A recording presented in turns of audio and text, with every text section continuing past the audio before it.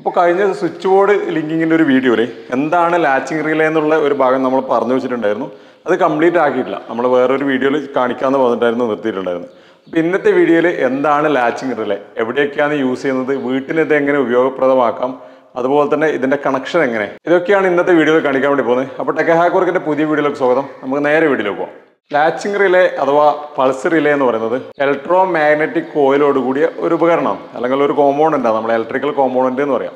ഇതിപ്പോൾ നമ്മുടെ വീടുകൾക്ക് ആവശ്യമായ രീതിയിലേക്ക് ഇപ്പം ഡിസൈൻ ചെയ്ത് എം സി ബി ടൈപ്പിൽ വന്നു തന്നേ ഉള്ളൂ. മുന്നേ വരുന്നത് കുറച്ചും കൂടി വലുപ്പം കൂടിയത് ഒരു ക്ലിപ്പിലേക്കുള്ള ഇറക്കുന്ന ഇൻഡസ്ട്രിയൽ യൂസിൽ വരുന്ന ടൈപ്പ് ആയിരുന്നെങ്കിൽ ഇപ്പോൾ വരുന്നത് നമുക്ക് വീടുകൾക്ക് ആവശ്യമായ രീതിയിലുള്ള ബ്രാക്കറ്റിൽ കൊടുക്കാൻ പറ്റുന്ന രീതിയിലുള്ളതാക്കി മാറ്റി. അത് മാത്രമല്ല ഇതിന്റെ കണക്ഷനും കാര്യങ്ങളും ഒക്കെ ഒന്ന് കോംപ്ലിക്കേഷൻ കുറച്ചും കൂടി കുറച്ചിട്ട് സിംപ്ലിഫൈ ആക്കിയിട്ട് ചെയ്യാൻ വേണ്ടി പറ്റുന്ന രീതിയിലാക്കി. അത് നമ്മൾ വീടിനെ എങ്ങനെ ഉപകാരപ്രദമായിട്ട് ചെയ്യാന്നുള്ളതാണ് നമ്മൾ സാധാരണയായിട്ട് ഇത് ഉപയോഗിക്കുന്നത് വീടുകൾക്ക് മാസ്റ്റർ കൺട്രോളിങ്ങിനാണ് അത് നമ്മൾ കോർണറിൽ വരുന്ന ലൈറ്റുകൾ ഔട്ട് സൈഡിലുള്ള ലൈറ്റുകൾ പിന്നെ ഏതെങ്കിലും മെയിൻ ഹാളിലുള്ള ലൈറ്റുകളൊക്കെ നമ്മൾ ഒരു വലിയ സ്വിച്ച് വെച്ചിട്ട് കൺട്രോൾ ചെയ്യില്ലേ? ഒന്നുകിൽ രണ്ട് ടു വേ സ്വിച്ച് വെച്ചിട്ടോ.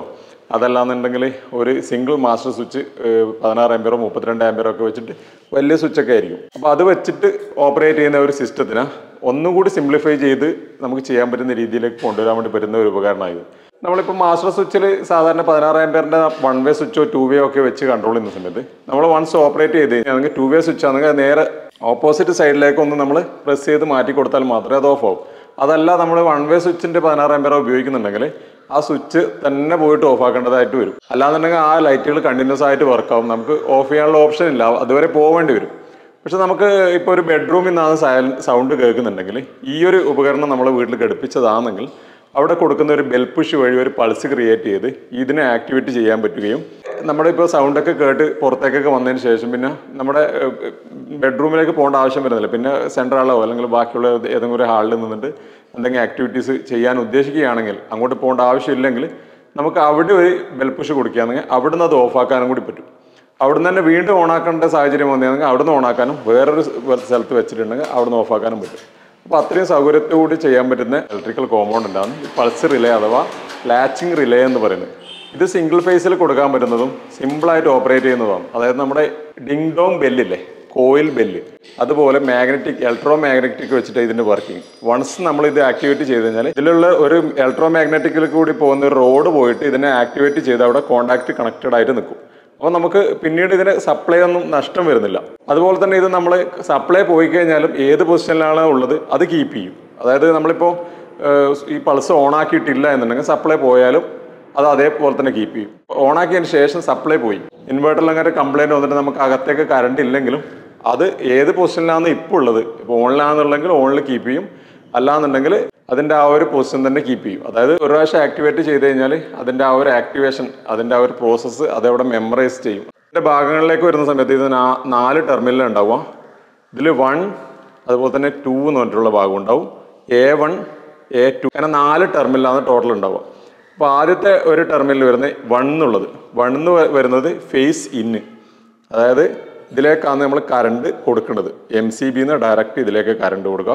അതല്ല നമ്മളൊരു സ്വിച്ച് ബോർഡിലേക്ക് പോകുന്ന കറണ്ടിന്റെ ആണെങ്കിൽ അവിടുന്ന് ലൂപ്പ് ചെയ്തിട്ടൊക്കെ കൊടുക്കാൻ വേണ്ടി വരും ഇതിൽ ഇത് ഈ ഒരു ഭാഗം വരുന്നത് പി ഔട്ട് അഥവാ ഫേസ് ഔട്ടാണ് ഇവിടെ വരുന്ന ഫേസിനെ ഔട്ട് എടുക്കാൻ വേണ്ടിയിട്ടാണ്. നമ്മൾ ഈ കോണ്ടാക്റ്റ് പൾസ് ക്രിയേറ്റ് ചെയ്യുന്ന സമയത്ത് ഇതിലേക്കൂടി ഔട്ട് കിട്ടും. എ ടു എന്ന് പറയുന്നത് ഇതിന്റെ ന്യൂട്രലാണ് ഇതിന്റെ എ വൺ എന്ന് പറയുന്നത് നമ്മുടെ ബെൽപുഷ് ഇല്ലേ? അതിന്റെ കണക്ഷൻ കൊടുക്കേണ്ട ഒരു ഭാഗമാണ് അപ്പോൾ ഈ ഒരു ഇതിലാണ് നമ്മൾ ആക്ടിവേഷൻ ചെയ്യുക. ഇതിലേക്ക് ഇതിന്റെ ഫ്രണ്ട് ഭാഗത്തേക്ക് വരുന്ന സമയത്ത് ഇവിടെ മാർക്കിംഗ് കാണാം. One A one A two two എന്ന് കാണാം. അപ്പോൾ എ ടു എന്ന് പറഞ്ഞു കഴിഞ്ഞാൽ ന്യൂട്രൽ കൊടുക്കേണ്ടത് എ വൺ എന്ന് പറഞ്ഞു കഴിഞ്ഞാൽ ഇതിന്റെ പൾസ് ക്രിയേറ്റ് ചെയ്യേണ്ടത് പി വൺ എന്ന് പറഞ്ഞു കഴിഞ്ഞാൽ നമ്മളെ മെയിൻ ഫേസ് കൊടുക്കേണ്ടത് ഇത് ഔട്ട്പുട്ട് അങ്ങനെ വരും. അപ്പോൾ ടെർമിനൽ കണക്ട് ചെയ്യുന്ന സമയത്തും കുറച്ച് ശ്രദ്ധിക്കാനുണ്ട്. കാരണം നമുക്കിതിൽ സ്ക്രൂ ഡ്രൈവർ അല്ലെങ്കിൽ ടെസ്റ്റർ ഇടാൻ വേണ്ടിയിട്ടുള്ള ഒരേ പോയിന്റിന്റെ അതേ നേർക്ക് തന്നെയാണ് ഇവിടുത്തെ ഇതും കൂടി ടെർമിനലും കൂടി വന്നിട്ടുള്ളത്. നിങ്ങൾക്ക് ഓക്കെ മനസ്സിലാകുന്നുണ്ടോ ഇതേ ലൈനിൽ തന്നെയാണ് ഉള്ളത്. അപ്പോൾ എപ്പോഴും ബേക്കിലത്തെ രണ്ട് ലൈനുകൾ ആദ്യം കണക്ട് ചെയ്തതിന് ശേഷം ഈ രണ്ട് ലൈൻ കണക്ട് ചെയ്യുന്നതായിരിക്കും നല്ലത്. പിന്നെ നമുക്ക് എപ്പോഴെങ്കിലും ഇത് മാനുവലായിട്ട് ഓഫ് ചെയ്യണമെന്നുണ്ടെങ്കിൽ ഇതിൽ ഒരു ചെറിയൊരു ഓപ്ഷൻ കൊടുത്തിട്ടുണ്ട്.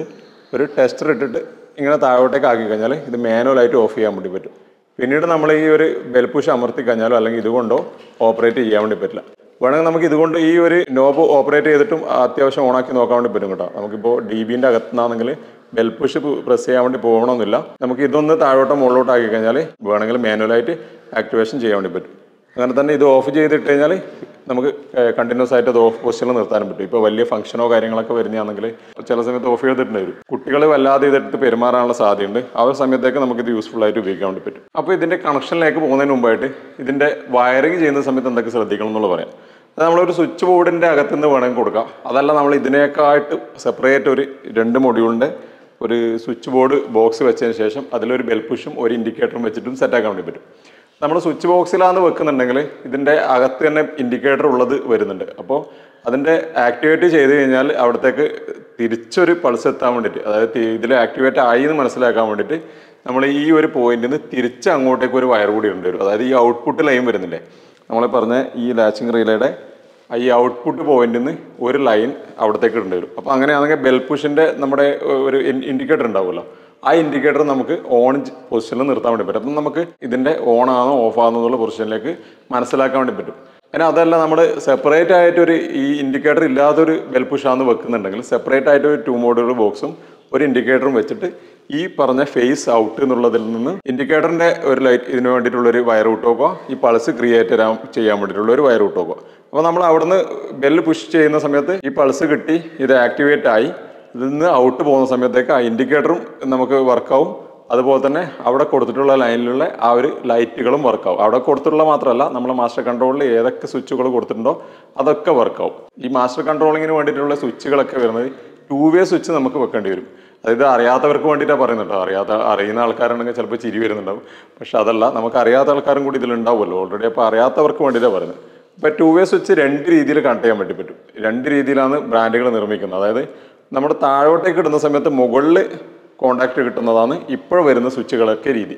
അപ്പോൾ പണ്ടത്തെ സ്വിച്ചുകൾ പഴയ കാലത്ത് വരുന്ന ആങ്കർ ജി എം പോലത്തുള്ള സ്വിച്ചുകളൊക്കെ പണ്ടത്തെ മോഡൽ സ്വിച്ചുകൾ നമ്മൾ താഴോട്ടേക്ക് കോണ്ടാക്ട് ഇട്ട് കഴിഞ്ഞാൽ താഴത്തെ ടെർമിനലിൽ ആയിരിക്കും അതിൽ ആക്ടിവേഷൻ ആവുകയും ഫേസ് കിട്ടുകയും ചെയ്യും.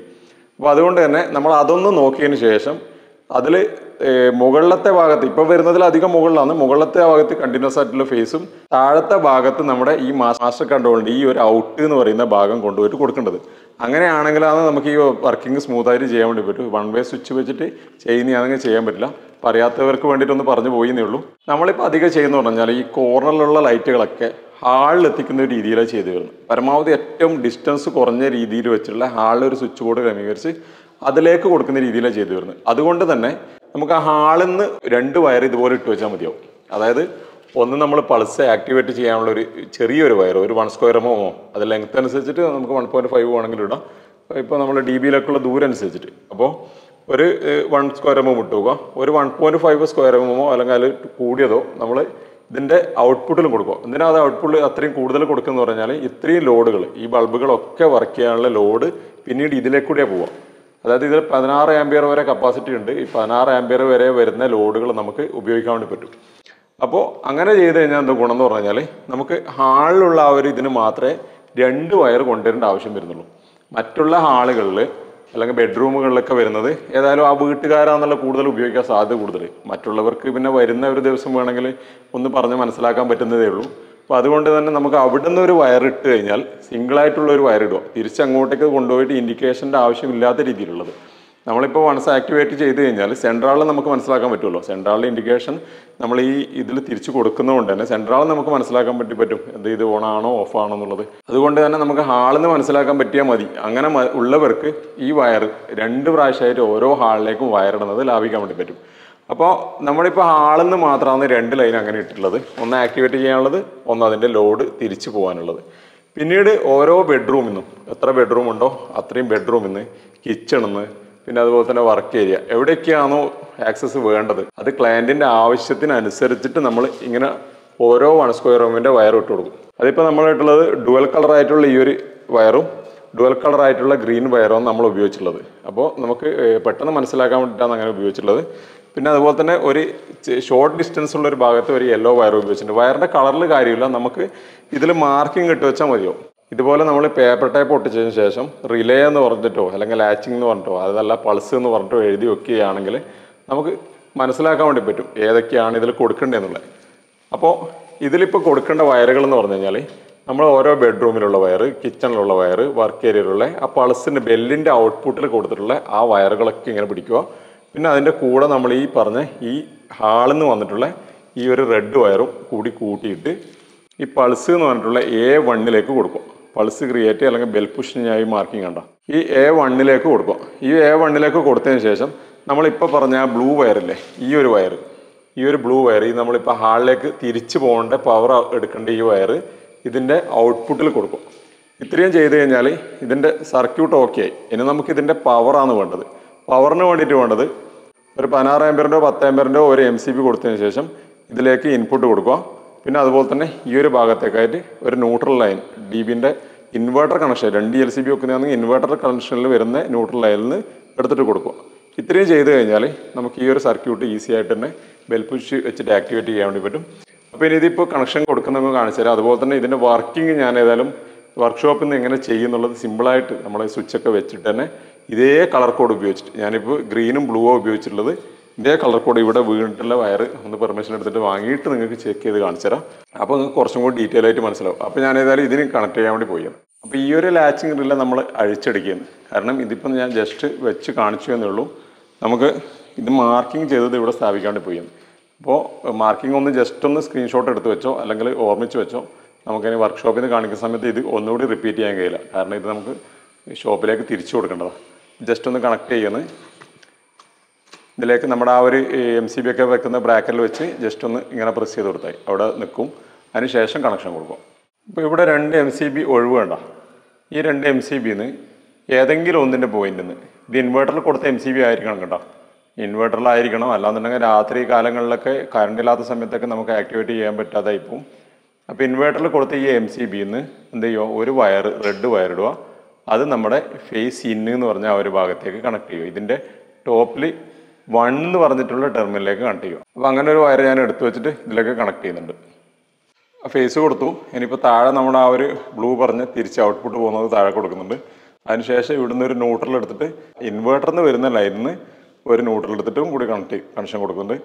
അത് ജസ്റ്റ് ഞാൻ കണക്ട് ചെയ്തതിന് ശേഷം എങ്ങനെയാണെന്നുള്ളത് പറഞ്ഞുതരാം.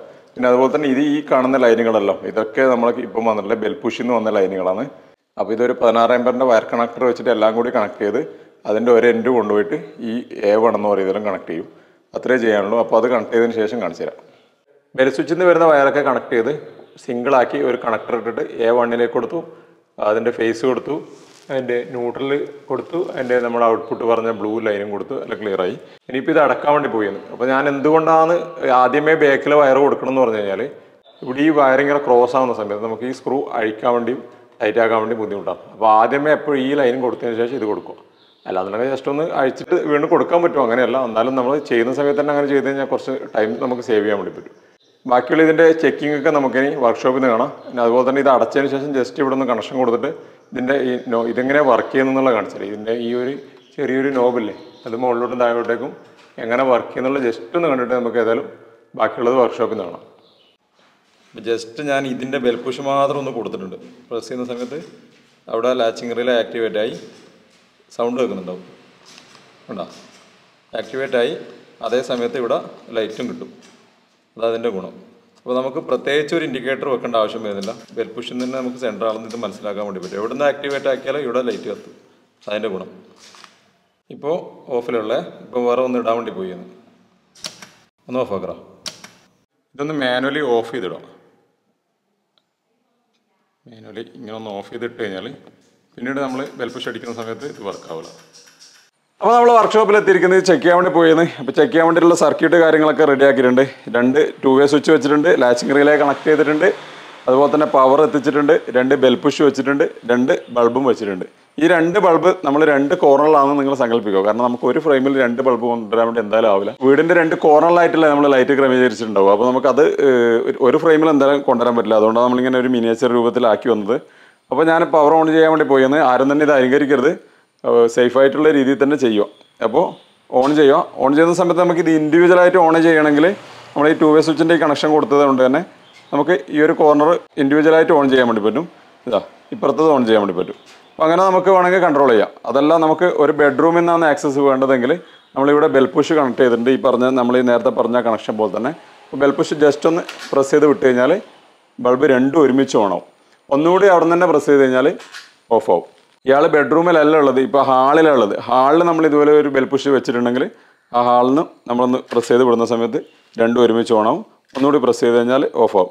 ഇനി അതല്ല ഇവിടുന്ന് ഓണാക്കിയതിന് ശേഷം അയാൾ സംഭവം മറന്നുപോയി. ബെഡ്റൂമിൽ എത്തിയതിന് ശേഷം ഓർമ്മ വരുന്നെങ്കിൽ അവിടുന്ന് ഒന്ന് പ്രസ് ചെയ്ത് വിട്ട് കഴിഞ്ഞാൽ മതി ഓഫാക്കാൻ വേണ്ടി പറ്റും.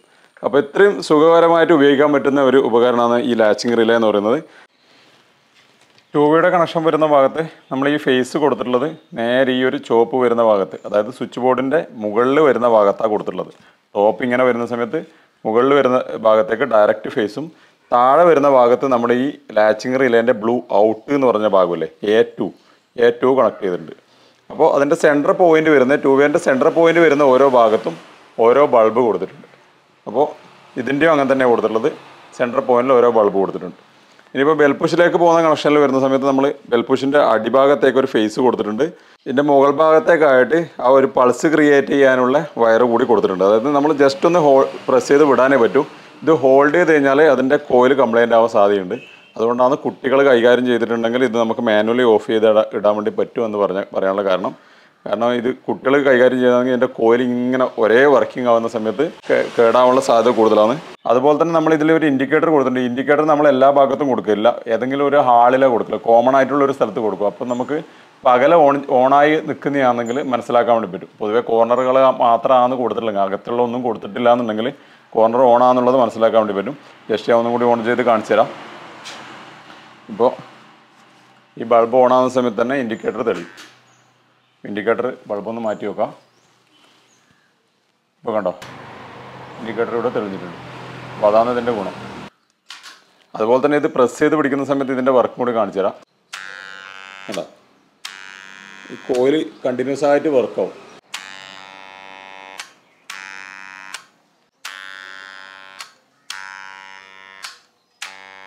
ഇങ്ങനെ ഉണ്ടാവും.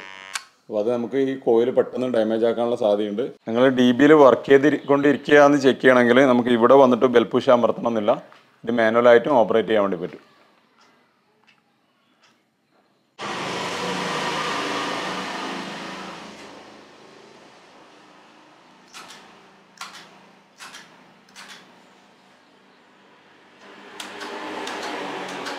ലാച്ചിങ് റിലേയുടെ വീഡിയോയുടെ അവസാനിപ്പിക്കുന്നത് നിങ്ങൾക്ക് വീഡിയോ ഇഷ്ടമായെന്ന് തോന്നുന്നു ഇഷ്ടമായിട്ടുണ്ടെങ്കിൽ ഒന്ന് ലൈക്ക് ഇടുക. അതുപോലെ തന്നെ നിങ്ങളുടെ സുഹൃത്തുക്കൾക്കെല്ലാം ഷെയർ ചെയ്ത് കൊടുക്കുക.